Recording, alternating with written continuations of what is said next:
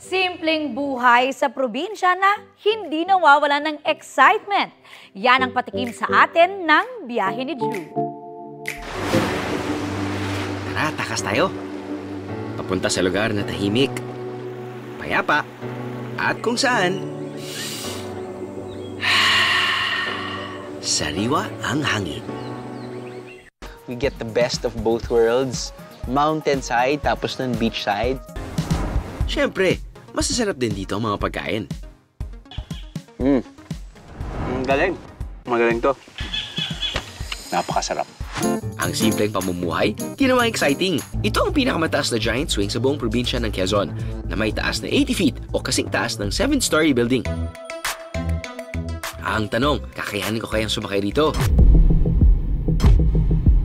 Ilang years ng BNT, meron ka raw bang inaatrasan? Mukhang magkakasubukan na ang tibay ng loob ah.